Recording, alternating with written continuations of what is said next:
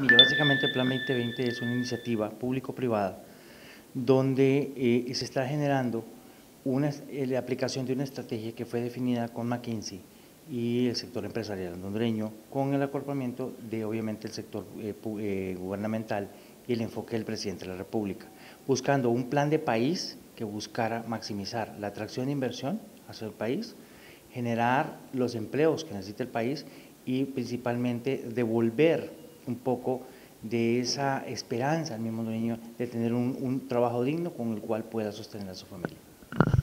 Eh, hasta ahora, desde su lanzamiento, desde su anuncio y con todo este trabajo, eh, ¿qué resultados han tenido y las expectativas para los dos años siguientes?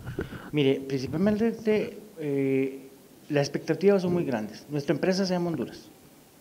Entonces, ¿qué tenemos que hacer? Enfocar todos los esfuerzos en poder realizar los objetivos que se han definido. Se ha definido ya un plan de trabajo que tenemos de corto, mediano y largo plazo. Estamos ahorita aplicando lo que es el corto plazo para que los resultados empiecen a generarse. ¿Por qué? Porque tenemos que empezar a salir al, a nivel internacional, tenemos que salir incluso para, eh, en una forma inicial dentro del mercado local, cámaras de comercio a nivel de Honduras, eh, todo, este, todo, el, todo el entorno macroeconómico del país para poder escuchar y ver todas sus necesidades y empezar a generar eh, nuevas oportunidades de negocio para el país, para que esas eh, oportunidades se conviertan y se traduzcan en empleo.